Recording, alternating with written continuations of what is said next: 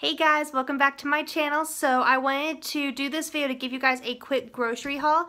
If you guys haven't seen it already, I did a video on five tips to save money at the grocery store and so for this haul I implemented all of those tips. I wanted to show you guys how much I can get on a super cheap budget.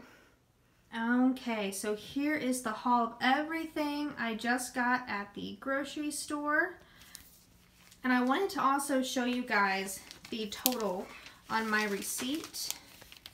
So I saved 4037 and my total was 11409. So that just shows you how much money I was able to save and I got all of this. So we're gonna start over here.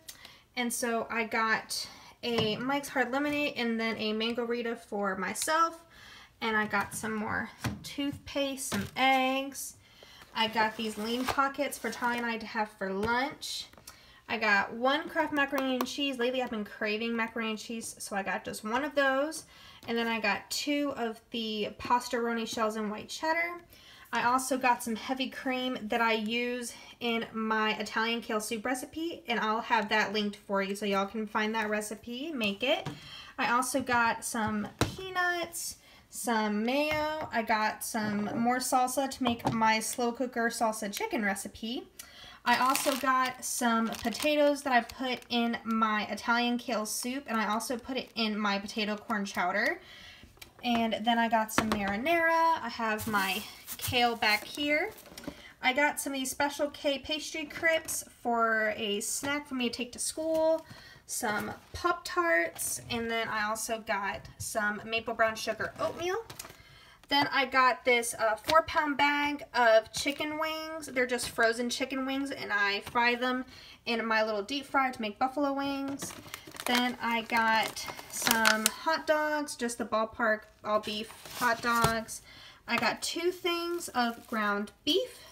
And then I also got some sweet potatoes. I got a bunch of rice here, just the microwave 90 second rice.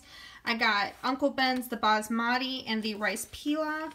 And then I got the Kroger brand of the red bean and rice. And I got two of the um, roasted chicken rice. And then I also got a whole grain rice.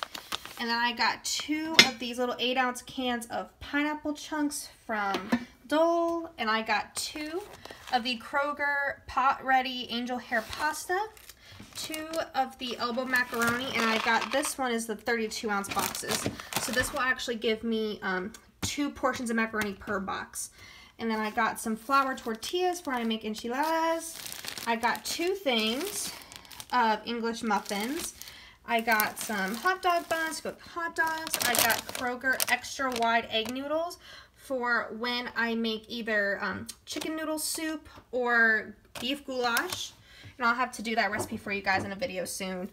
Um, I also got some cheese dip, and then I got two of these simple organic free-range chicken broth. I will either get this brand if it's on sale, or I will get the Kroger brand, like I got the Kroger brand, brand um, beef broth here. And then I also got some Bush's chili beans. These are Charlie's favorite chili beans for his chili. And then we got some Frosted Flakes, just the Kroger off-brand cereal. And then I got two of these bags of frozen green beans, two bags of the mixed vegetables.